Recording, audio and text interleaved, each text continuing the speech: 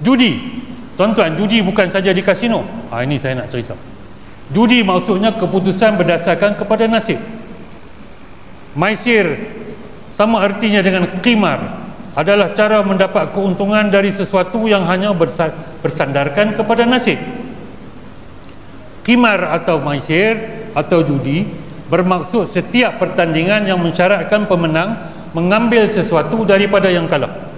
Apabila kita buat pertandingan yang menang ambil daripada yang kalah itu judi.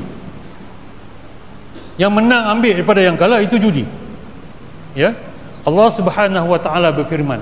Maksud wahai orang-orang yang beriman bahawa sesungguhnya arak dan judi dan pemujaan berhala dan mengundi dan mengundi nasib dengan batang-batang anak panah adalah semuanya kotor dan keji dari perbuatan syaitan oleh itu hendaklah kamu menjauhinya supaya kamu berjaya di samping itu maisir juga diharamkan melalui sabda Rasulullah sallallahu alaihi wasallam yang bermaksud sesiapa yang bermain judi sesungguhnya dia telah menderhakai Allah Subhanahu wa taala. Nauzubillah. Baik, yang ni terang lagi bersuluh. Semua orang tahu. Semua orang tahu, terang lagi bersuluh. Betul tak, tuan-tuan? Ya, cuma saya nak suluh pada spot toto gambar ni orang pakai baju kurung pun pergi beli. Ha itu lah. Ha. orang baju kurung pergi beli. Walaupun dah terang lagi bersuluh ini semua orang tahu judi haram. Baik. Yang ni yang saya nak cerita tuan-tuan. Membeli baju RM90. Tetapi untuk menyertai pertandingan untuk memenangi MyV kena bayar RM10. Yang ni judi. Sebab apa? Dia bayar RM10 untuk masuk pertandingan dia kalah dia tak dapat apa. Betul tak? Hilang apa? Yang hilang. Yang menang dapat duit dia ha, itu judi. Mengenakan yuran RM150 untuk majlis makan malam syarikat. Dan RM10 daripada yuran itu digunakan untuk cabutan bertuah ini adalah judi. Sebab duit yuran itu diguna untuk apa?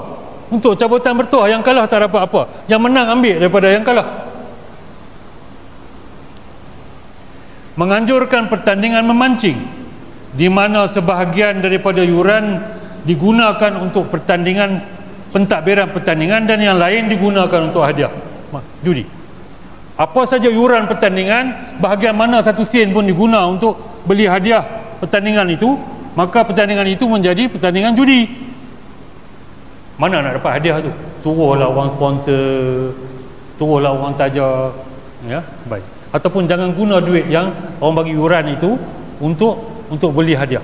Untuk beli hadiah pertandingan. Ah kat sekolah banyak tuan-tuan. Kat sekolah banyak orang buat. Dia ambil yuran pertandingan.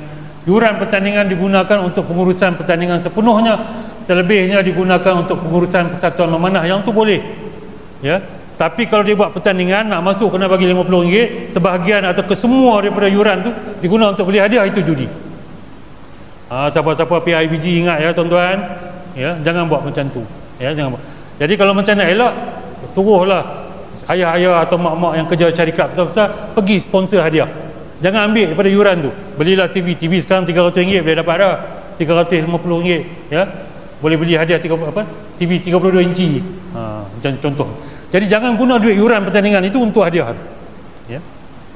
Memasuki satu peraduan kerana layak membeli sesuatu barang kerana kelayakan berdasarkan membeli sesuatu ia dianggap sebagai hadiah jika kalah tak hilang apa-apa. Ha, kita pergi beli uh, pergi Tesco dia kata ok uh, beli daripada lebih daripada 200 eh, dapat yang tu. Ok kita isi barang tak apa. Kita kalah dapat apa-apa hilang apa tak ada. Tak ada hilang apa-apa. Ha, itu tak apa